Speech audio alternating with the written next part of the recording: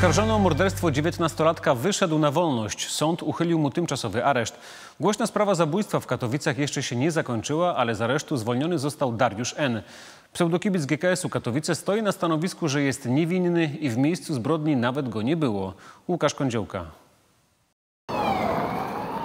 Od zabójstwa 19-latka minęło już ponad 7 lat. To była głośna sprawa. Po dwukrotnym dźgnięciu nożem Dominik Koszowski zginął na jednej z głównych ulic Katowic. Policja wytypowała podejrzanego. Dariusz N. ukrywał się przez przeszło rok, a ostatecznie został zatrzymany w Hiszpanii.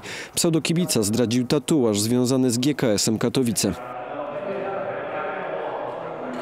Do aresztu tymczasowego trafił 6 lat temu. Od 2017 roku oskarżony o zabójstwo 19-latka Dariusz N. utrzymywał, że to nie on jest osobą widoczną na nagraniach z kamer na ulicy 3 Maja. Myślę, że to jest to nagranie, które jest w swoich pierwszych zeznaniach. W związku z tym, że sprawa ciągnie się już kilka lat, Sąd Okręgowy w Katowicach zadecydował o wypuszczeniu na wolność Dariusza N.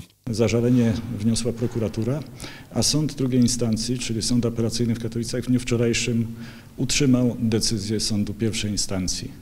A to dlatego właśnie wpływ na zaakceptowanie rozstrzygnięcia sądu pierwszej instancji miała ta długotrwałość tymczasowego aresztowania stosowanego w tej sprawie, które no, w zasadzie traci już charakter tymczasowości. Jednak sprawa morderstwa z 21 sierpnia 2016 roku nie została zakończona. Dariusz N. nadal jest oskarżonym. Już raz zapadł wyrok skazujący go na 25 lat więzienia, ale został uchylony. Teraz pseudokibic będzie mógł pojawiać się przed sądem wedle własnego uznania. Ale nie musi, chyba że sąd y, pierwszej instancji go do tego zobowiąże, aby uczestniczył w jakichś czynnościach. Obrona jest zadowolona z tego, że Dariusz N. wyszedł na wolność. Jak podkreśla jeden z obrońców oskarżonego, regulują to przepisy międzynarodowe. przesłanką przedłużania aresztowania nie może być jedynie grożąca wysoka kara.